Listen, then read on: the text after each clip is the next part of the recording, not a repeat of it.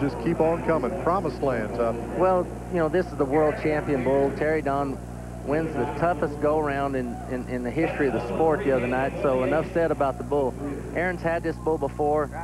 If the bull goes to the left, unfortunately, Aaron just doesn't have a very good chance.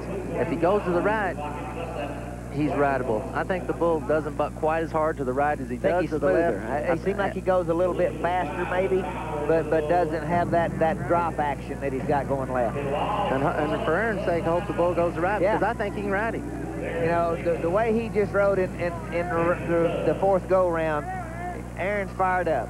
You know, he's put the hat trick behind him, and uh, he's got to move up here. he knows this is where the, the, the veterans shine. Let's get it on. Promise Land. Aaron, coming left.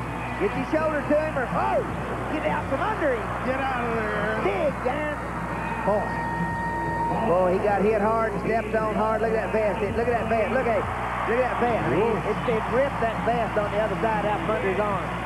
That's been ripped 10 years ago. No, this is this, this is this is a sport Look that of, of inches and and and Aaron is uh, as lucky as a guy to, to get up and walk away from that as anybody you'll ever see because and I just cringed, and I just cringed. When the bull turned back to the left, I just cringed know, because, yeah. because you could see it coming. Yep. See it coming, and, and uh, you get another look. But does that now, that, that the, the naysayers that thought that Terry Don might have got extra points uh, in that go-around, that ought to, that ought to calm your ideas. That sucker and, uh, and that's that's why he's the world champion bucking bull. That's why that's why the guys voted him the best in the world, and you can't argue with that.